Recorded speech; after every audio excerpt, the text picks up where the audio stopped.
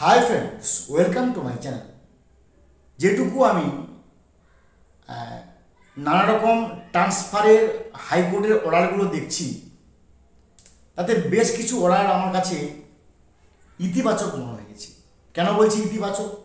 না, পশ্চিম বর্ধমান জেলার তন্ময় রয়, কিংবা মৌপিয়া রয়, কিংবা সুদীপ্তা রয়, কিংবা রবিচরণ দাস এই যে প্রত্যেকটা মামলার আমি ভালো করে খুঁটে খুঁটিয়ে পড়ে যেটুকু বুঝতে পেরেছি, যে যারা উনত্রিশে সেপ্টেম্বর দু হাজার বাইশে উচ্চশ্রী সাসপেনশনের আগে আবেদন করেছিলেন, কিন্তু কোনো কারণে ডিআই বা এইচওআই বা কমিশনার থেকে তাকে ইতিবাচক ভূমিকা নেওয়া হয়নি, তিনারা কিন্তু এবার আসাতে ট্রান্সফার পেয়ে যাচ্ছেন।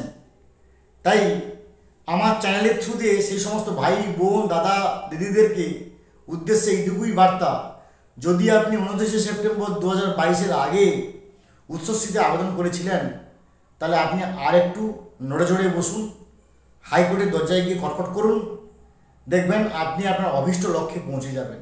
কারণ যে মামলাগুলো আমি মানে প্রত্যেক দিনই এই নিয়ে আমি খোঁজ খবর রাখি এবং যেগুলো অলরেডি বেরোচ্ছে, সেগুলোকে আমি ভালো করে স্ক্যান করি, পড়ি অ্যানালাইসিস করি ক্রস অ্যানালাইসিস করি ডিসকাশন করি ক্রস ডিসকাশন করি, সেটুকু যেটুকু আমি বুঝতে পেরেছি। তার নির্যাস হলো এইটা যে উনত্রিশ সেপ্টেম্বর দু হাজার বাইশের আগে আবেদন করলে কিন্তু ডরমেন্ট হয়ে পড়ে আছে।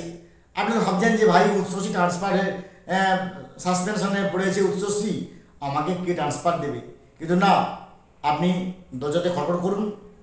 আমি বলছি, যাদের আমি দেখেছি হয়েছে, আপনার যদি ভাগ্য ভালো হয়, আপনি যদি ভালোভাবে সলভ করতে পারেন, বা যদি আপনার উকিল সেভাবে প্রফিট করতে পারে আপনি ট্রান্সফার পাবেন, যার জন্য আপনি এতদিন হাঁ করে বসে আছেন।